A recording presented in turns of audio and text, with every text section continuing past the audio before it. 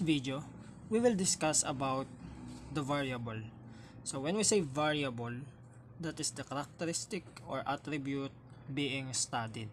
So kapag nagkakandak tayo ng study or statistical inquiry, interesado tayo doon sa characteristic na meron sa sample natin or sa ating population. Okay? So for example, interesado tayo sa gender nila or interesado tayo doon sa age nila and marami pang iba. Okay? So ang tawag doon ay variable, yung mga characteristic na meron sa population or sample or doon sa ating pinag-aaralan. And then, when we say observation, na realized value or category of a variable. So, ito yung makikita mo doon sa ating variable. And then, we have data set. Pag sinabing data set, collection of all observations from population or sample base doon sa ating variable. Para mas maintindihan natin, let's say meron tayong 100 sample of persons tapos gusto nating malaman kung ano yung gender nila. Okay? So, ang ating variable doon ay yung gender. Tapos, ano yung ma-observe natin sa gender? It's either male or female. Siyempre, pag bakla, doon siya kabilang sa male. Pag tomboy naman, kabilang siya sa female. So, walang other gender ha. Okay? And then, so let's say nagtanong na tayo sa 100 na yon. So, ano ba yung gender mo? Ikaw ba ay male o female? So, yung nakuha nating information sa kanila, ang tawag doon ay data. So, let's say 30, yung nagsabi na male sila, tapos 70, yung nagsabi na female sila. So, yun yung pagkakaiba ng variable and data. Let's proceed to types of variables. Meron tayong dalawang types ng variables, quantitative variable and qualitative variable. So nagbigay lang ako ng mga keywords sa bawat isa sa kanila para madali natin siyang matandaan o maintindihan. Pag quantitative variable, ang keyword lang natin ay degree. Kasi yung makikita natin dyan ay naka-value or number yung observations sa quantitative variable. Tapos kapag naman qualitative variable, ang keyword natin ay category. Let's have an example. A for quantitative variable, B for qualitative variable. So number one, birthplace, that is qualitative variable. So bakit siya qualitative variable? Kasi yung makikita natin doon, syempre mga lugar na halimbawa Caloocan o Navotas or Valenzuela or pwedeng mas specific pa na lugar doon. So that is category. So qualitative variable. Number 2, weight in kilograms. This is quantitative variable. Kasi ang makikita mo dyan ay mga value. Let's say 2 kilograms, 1.5 kilograms, and so on. Number 3, age in year. So makikita mo dyan ay number din or value. So this is quantitative variable. Then height in feet. So, halimbawa, 5 feet, 6 feet, 7 feet. So, this is quantitative variable. Okay, madali lang siyang tandaan, no?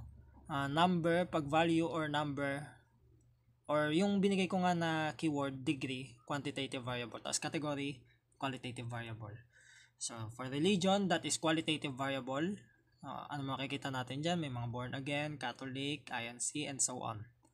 Marital status, this is qualitative variable kasi ang makikita natin dyan, let's say single or married or widow so, and so on. Then, number 7, body temperatures in degrees Celsius. So, this is quantitative variables. So, madalas yan, no? Uh, kapag kinukuhanan ka ng body temperature, let's say 36 degree Celsius. Uh, so, that is number kaya quantitative variable. Then, for number 8, geographic locations. So, katulad lang yan sa birthplace, di ba? Na, ang, mga lugar lang din yan. So, that is qualitative variable. Under quantitative variable, we have discrete and continuous. So, nilagay ko lang din dito yung mga keywords para mas madali nating maintindihan yung discrete, quantitative variable, and continuous quantitative variable. So pag discrete, ang ating keywords ay with gaps or counting.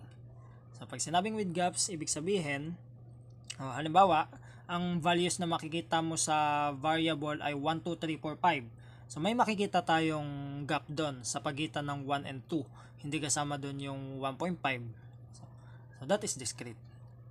Usually, sa discrete quantitative variable, nakukuha natin yan by counting yung mga observations niyan. Okay? Then, for continuous uh, quantitative variable, so ang keyword na keywords natin ay with no gap tapos measuring. So, yung mga values na madala, madalas yung mga values na nakukuha natin sa continuous quantitative variable ay galing doon sa ginawa nating measurement. Okay? Or may mineasure tayo na something. Okay? Na, then, with no gap, ibig sabihin, sa nagkakaroon tayo na halimbawa ng interval, let's say, between 1 and 5, so lahat ng numbers sa gitna nila kasali. Okay, wala kang makikita do, number doon na hindi kasali. So, yun yung ibig sabihin ng with no gap. Example, A for discrete, B for continuous. Okay? So, number one, number of enrollees. This is discrete. Bakit? Kasi para makuha natin yan, binibilang lang natin kung ilan yung mga nagpa-enroll. And bukod doon, pag enrollees pinag-uusapan, student yan. Wala naman tayong makikita na yung number of enrollees ay 106.5 o meron bang 0.5 na student. So that is discrete. Meron siyang gap, tapos galing siya sa counting. Number 2, height. 'Di ba Para makuha natin yan, sinusukat natin. So, that is continuous. Number 3, weight. Sinusukat din natin yan. That is continuous. Number 4, number of cars. Binibilang yan. And wala tayong makikitang, uh, halimbawa, ang bilang ng cars ay 26.5.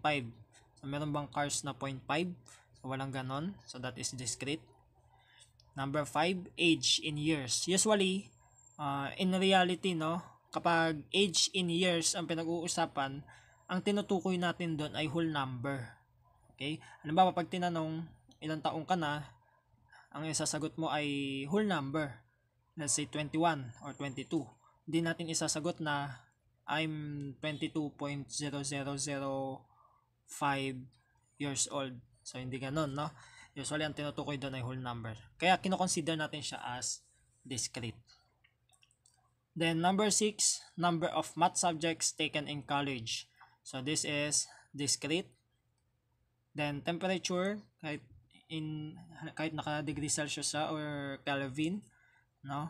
So ina-include diyan lahat ng uh, decimals sa isang interval. So that is uh, continuous. Wala siyang gap. And then number 8, dropouts. So this is discrete. Bibilangin lang natin kung ilan yung nag-drop. And then, sir, ano tong mga number na to? Okay? Uh, eto, paalala ko lang, huwag tayong magkakamali na isipin na kapag sinabing discrete whole number, pag sinabing continuous, may decimal. So, wag niyong gagawing palatandaan yon Okay? Hindi porket discrete ay palaging whole number, hindi porket continuous, ah, hindi porket may decimal ay continuous agad. So, halimbawa, ang Halimbawa, nag-roll tayo ng dalawang dice. Tapos, kukunin natin yung average nun ng lalabas. Uh, Doon tayo interesado. Ito yung magiging possible values. No? Halimbawa, average ng dalawang dice na ang lumabas parehong 1-1. Di ba yung dice natin 1 to 6? Yung makikita doon. O 1-1 lumabas, kunin yung average nun, that is 1. Tapos 1 to lumabas, kunin yung average nun, that is 1.5. O, ito lang lahat ng values na makikita natin. So, ang tanong, kapag uh, ito ba ay discrete o continuous? So, this is discrete. May decimal siya, pero discrete siya. Bakit discrete? Meron ba tayong makikitang 1.3 dito? So, wala. Hindi included ang 1.3, 1.000 something. So, meron siyang gap. Kaya, discrete siya. Okay, although hindi siya galing sa counting, at least nakita natin na meron siyang gap, so kino-consider natin siya as discrete, not continuous. Okay, so ibig sabihin, wag nating tandaan na ah wag nating itanim sa isip na kapag may decimal automatic continuous. O, pag discrete automatic whole number lang 'yan. Kasi nga counting, hindi kanon, okay? So, yun yung dapat nating tandaan. Punta tayo sa qualitative variable. Under qualitative variable, meron tayong tinatawag na dichotomous and multinomial. Pag sinabing dichotomous, two kade- dalawa lang yung categories. Okay? Pag multinomial, more than two categories. Madali lang tandaan yan. Example, A for di- dichotomous, B for multinomial. Number one, gender. Makikita lang natin dyan, male o kaya female. So, that is dichotomous. Religion, napakaraming religion. So, that is multinomial. Attendance, dalawa lang yan, present or absent. So, that is dichotomous. Oh, halimbawa, late, no, sa attendance. Auto, eh, kahit late siya, present pa rin yan, no. Oh, kaya, consider pa rin siya as dichotomous. Then, educational attainment, that is multinomial.